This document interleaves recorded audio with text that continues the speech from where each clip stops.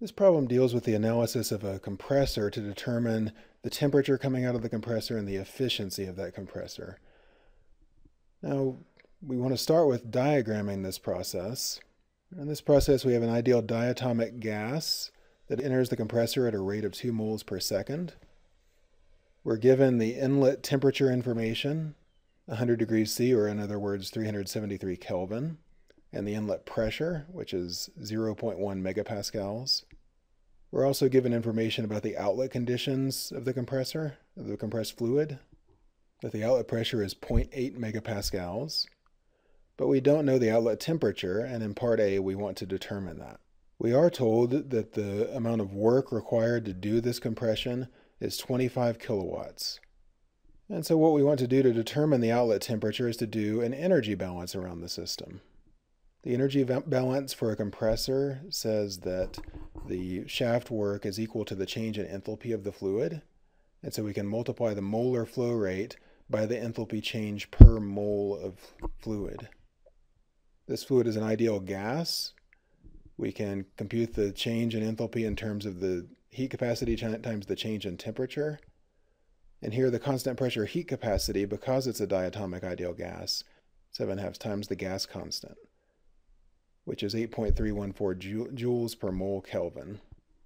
We leave the outlet temperature as an unknown, and we can then solve for it as the only unknown in this equation. And of course, the shaft work is equal to 25,000 watts, or 25,000 joules per second. Solving this simple equation, we find that the outlet temperature is equal to approximately 800 Kelvin. Now in part B, we want to determine the efficiency of this compressor compared to an ideal compressor and an ideal compressor is reversible, right? And that means that it's an isentropic compression, so that delta S for the fluid going through the compressor is equal to zero. And for this ideal gas, we can write the change in, in entropy of that ideal gas in terms of an equation that has the natural logarithm of a temperature ratio and a pressure ratio. And so we can write that as follows. And in this case, we know that Cp is 7 halves R, we know the inlet temperature, and we know the pressures. The only thing we don't know is the T2 reversible, so what the outlet temperature would be for a reversible compressor. And we can solve this equation to determine that and find that it's equal to 676 Kelvin. Now that we know that outlet temperature, then we can determine the amount of work that it would take for the reversible turbine that it will again be determined by the same form of the energy balance that we used in part A of the problem. So the work for the reversible compressor is again equal to the enthalpy change in the same way, now for the reversible case. And we again use the constant pressure heat capacity times the change in temperature for the reversible compressor. And we find that the reversible work required is 18 kilowatts, which is less than the actual work that was needed.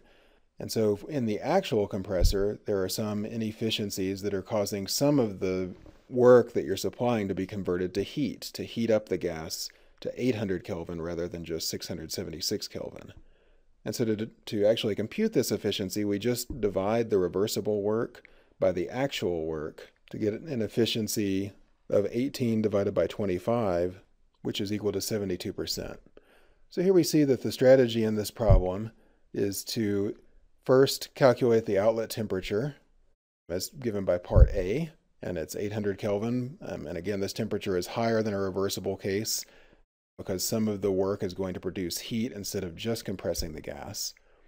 All right, then, and we're solving for the efficiency of the system, we need to first determine how a reversible compressor would behave. And a reversible compressor is a compressor for which the entropy change of the fluid is equal to zero.